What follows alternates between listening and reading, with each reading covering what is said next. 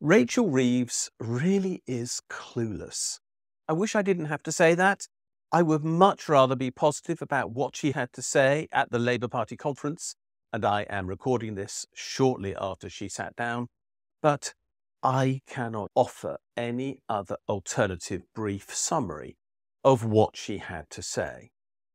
40 minutes of my life was spent watching her repeat the same line time after time about what she believed in.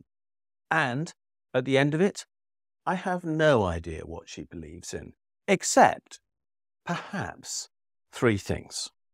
One is that Rachel Reeves is very clever. She clearly believes in that.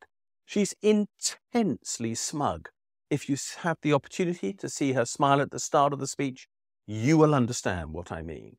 And she is smug, okay, perhaps for a reason, because she is the first ever woman Chancellor of the Exchequer in the history of this country. But it would be great if, and this is my second point, she had something to offer in that post. But she hasn't. When you listen to what she had to say, it was the same stump speech that she was putting out during the Labour election campaign. There was nothing new that she said today. Okay, some people are making the point that she might have announced a little iteration of Labour's thinking on how they're going to recover money from those companies who might have got it fraudulently during the COVID era. But that apart, and maybe a minor tweak on the uh, resources that she is going to supply to HM Revenue and Customs to recover tax owing, which are, by the way, vastly inadequate in relation to the need, those two things apart, she added nothing to what we knew before the general election. She made the same claims about taxation, about what she's not going to increase. She made the same point that everything she can do is dependent upon growth in the private sector of the economy, and there are no signs that that is going to happen. She said nothing about climate change of any consequence. She talked repetitively about Labour's commitment to business and to workers, and she did, as happened before the general election, ignore everyone else who lives in this country children, pensioners, carers, non business organisations, whether they be charities or NGOs, or state departments and the NHS and the people who work in them. All of those people were ignored. She only has this incredibly blinkered view of politics, which is all about the idea that it is business versus workers. It's as if her politics was created in the 19th century and she hasn't moved on since then, which looks to be true. What was the third problem with her speech?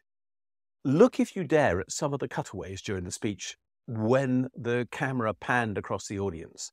You will see people looking bored. After 20 minutes, I was praying for this to end because it was clear that we were going to learn nothing. And the audience looked as though they felt the same way. This was a chancellor without a story, in other words, a chancellor who can't tell us how all the promises that she made are going to be fulfilled, except from growth, over which she has precisely no control, given the offer that she is making. This is a chancellor who says there will be no austerity. And I believe her because she'll call it something else. Fiscal rectitude is my best bet. This is a chancellor who says that there will be no cuts. And yet, almost immediately after she sat down, Darren Jones, the Chief Secretary to the Treasury, was being interviewed by the BBC, and he was talking about the meetings he will have with the department heads of every ministry in the government about the budgets that are going to be allocated to them and everyone knew that what he was talking about was the constraints that will be imposed upon them. This is a chancellor who simply failed to explain what she will do. I watched Keir Starmer. I looked at him looking at her and at him giving her the due applause that is appropriate in these situations, sometimes even leading the standing ovations which he got from time to time, although why it was hard to tell. But deep down, I wondered what he was really thinking.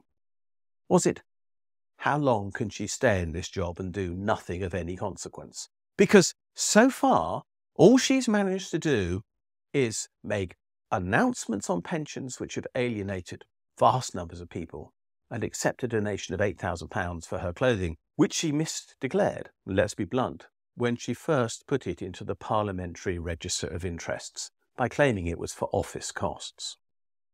Rachel Reeves has broken the glass ceiling. She has become the first Labour Chancellor in 14 years and the first woman Chancellor in 800 years. Those points have to be recorded. They are not what I'm interested in, though.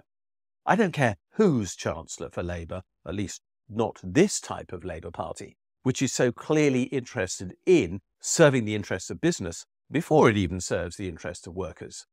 What I'm interested in is what she's going to deliver. And so far, I have no idea.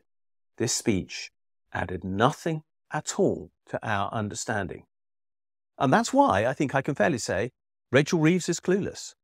I spent 40 minutes watching this speech, and they're 40 minutes I won't get back again. And frankly, they were wasted.